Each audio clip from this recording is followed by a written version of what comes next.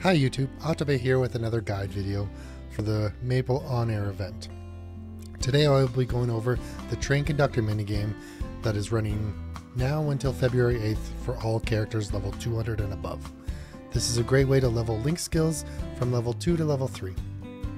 I'm currently going to finish my Lara to level 210 for the Lara event rewards. Um, the event map can be located on the right star, the star on your left um, to access the event map. From here, the goal of the minigame is to move around the map and deliver items to six different towns. Henesys in the north left, Kerning City in the upper middle, Perion in the top right, Ellinia in the bottom left, uh, Lith Harbor in the bottom middle, and Nautilus in the bottom right. Um, they require items related to their respective towns, and you can go around the train track and deliver the items. When passing through towns with the correct item, you will automatically obtain 1000 points. You can earn an additional 500 points if you deliver two of the same item to the correct town.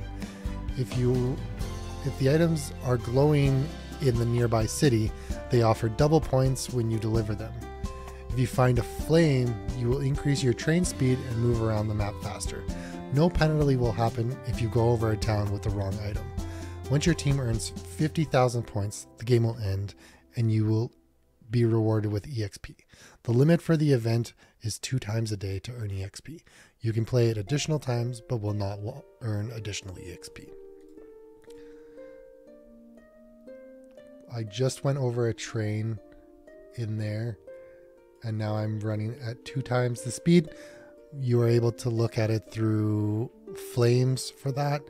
Um, I did realize that none of the items change between towns, um, so you can pick and choose which area you go to and kind of plan accordingly.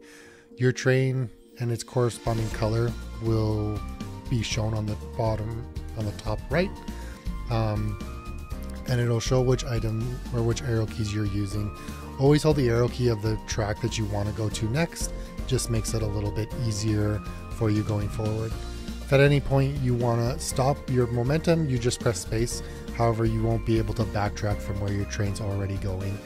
Um, with there being a lack of penalty by not going over something or going over a town that doesn't have your item, um, I don't really see a reason why you would need to stop your train, um, but you're more than welcome to if you'd like.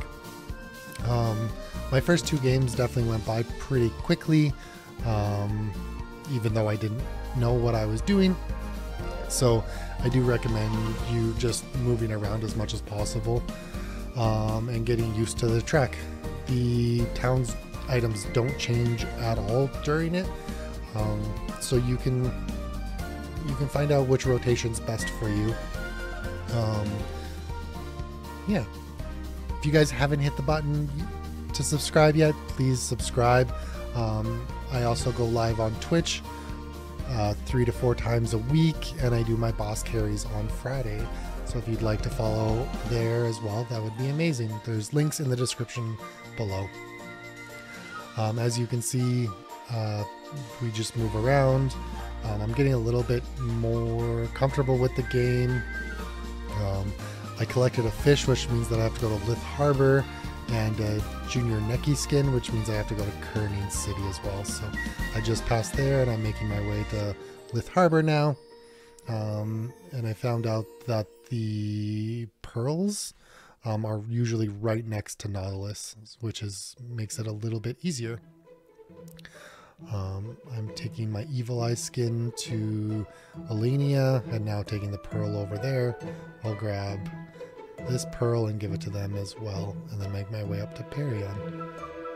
Get a flame, so I run at super speed. I missed that train, which is unfortunate, but I can always get it on the way back.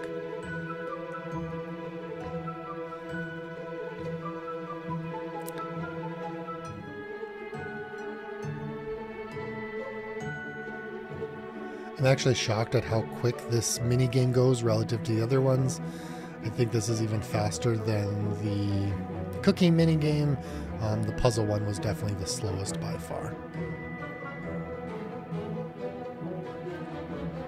your train isn't impeded by anyone else's game, so you can drive over them or do anything like that. And there we go, we have 3,000 extra points just for good measure. Like I said, it's a great way to get experience points. Um, I just finished leveling my Lara up to 210. Six minutes for me to get 20 to about 30% EXP. Uh, even at that level is fairly amazing. Um, and that's it. A very quick, simple guide. Um, if you do have any more questions about the train event, please comment in the comment section below. Like the video if you can. Subscribe. That would be amazing. And yeah, I hope to see you guys another time. Thank you so much for watching. And happy Mapling.